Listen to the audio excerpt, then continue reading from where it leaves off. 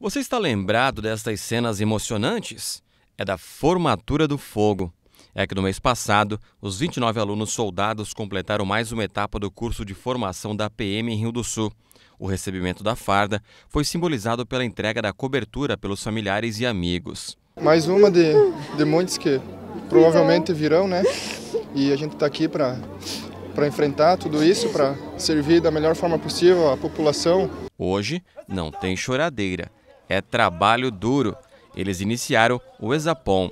É um exercício que a gente faz com os policiais militares, onde a gente testa a capacidade física e psicológica dos alunos através de um treinamento intenso, tanto no esforço físico quanto ao esforço psicológico. Os novos soldados começaram marchando cedo. Guerreiros samurais combatendo em toda a terra. Guerreiros samurais combatendo em toda a terra. Tem que ter força para não colocar o joelho no chão.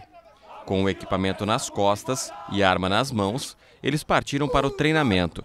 O local não foi divulgado pela PM. Vão recebendo algumas instruções de como se proteger em caso de emboscada, como se homiziar no mato, né, se esconder no mato em caso de uma situação que exija, né, usar os meios é, de fortuna que tem no, no, caminho para se esconder, proteção, abrigo, cobertura, tudo isso são instruções é, que eles é, recebem nos bancos escolares e vão colocar em prática agora nesse exercício. Os novos soldados vão caminhando até o local onde serão feitos os exercícios. São cerca de 14 quilômetros e lá eles ficarão por dois dias.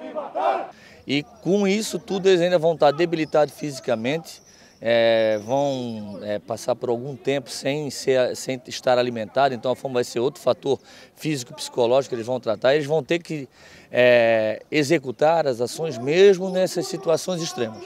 Eu tenho uma mania que já é tradição de nunca me entregar e nunca ir ao campo, de nunca me entregar